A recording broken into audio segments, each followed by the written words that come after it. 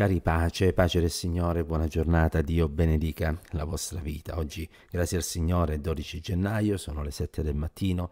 Spero che siate tutti quanti bene, spero che ancora in questa mattina possiamo avere un momento di eh, comunione con il nostro Signore prima di iniziare la giornata, in modo da poter caricare le nostre ba- eh, batterie spirituali. Sì, perché il giorno che abbiamo davanti non sappiamo cosa ci possa riservare, ma siamo certi che se invocheremo la guida e la protezione di Dio, il Signore saprà preservare l'anima nostra da tutto ciò che la può allontanare dalla sua grazia e quindi dalla salvezza. Leggiamo nella parola del Signore, leggiamo nel Vangelo di Matteo al capitolo 16. Leggeremo mh, mm, quattro versi dal verso 13 al verso 16 ed è un passo molto noto. È Gesù che si trovava nei dintorni di Cesarea di Filippo e domandò ai suoi discepoli chi dice la gente che sia il figlio dell'uomo? Ed essi, i discepoli, risposero, alcuni dicono Giovanni il Battista, altri Elia, altri Geremia o uno dei profeti. Ed egli disse loro, E voi chi dite che io sia? E Simon Pietro rispose, Tu sei il Cristo, il figlio dell'Iddio vivente. Eh, Gesù fa una domanda ben precisa ai suoi discepoli, chi dite eh, che io sia? E questo perché prima gli aveva chiesto qual era l'opinione che c'era intorno a lui nella gente che essi incontravano e ognuno oh, di quelli che avevano avuto occasione di incrociare Cristo aveva un'opinione diversa riguardo a lui. C'era chi pensava, abbiamo letto, che fosse Giovanni Battista che era tornato in vita, altri che vedevano in lui l'Elia che era stato promesso, altri ancora che vedevano in lui Geremia, uno dei tanti profeti dell'Antico Testamento.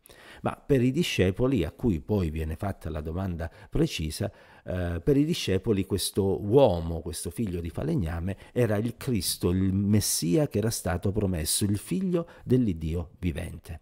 E questa domanda che è stata posta ai discepoli in quel giorno è una domanda che stamattina torna di attualità per ognuno di noi, anzi per me e per te che stai ascoltando.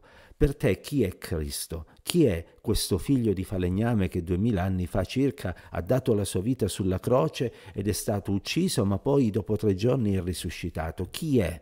È forse una religione da seguire? È forse un buon esempio da provare a praticare? Chi è questo uomo? È un filosofo dell'antichità che è stato capace con le sue idee di rivoluzionare il modo di pensare delle genti? Chi è questo personaggio particolare? E io spero che tu possa dire la stessa cosa che i discepoli dissero, egli è il figlio di Dio.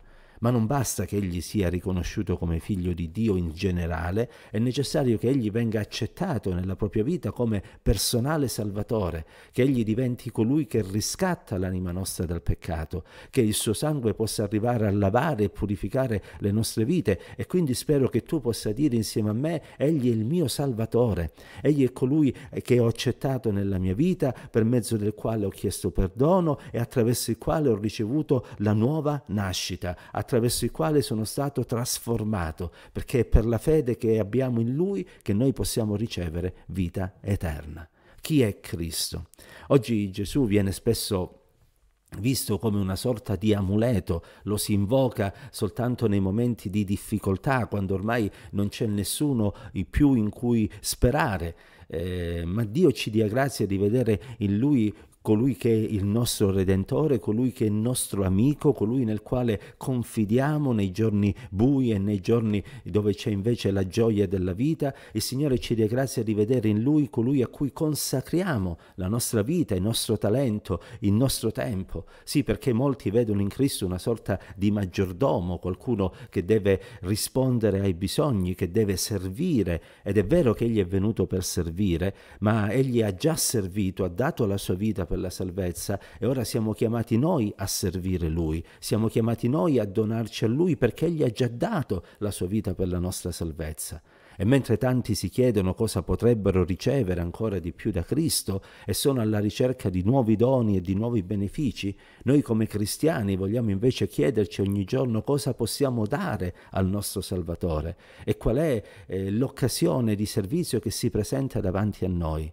Sì, perché c'è più gioia nel dare che nel ricevere e noi vogliamo essere di quelli che danno la loro vita al Signore, che si consacrano ogni giorno di più al Signore e che cercano in Lui la ragione della propria vita.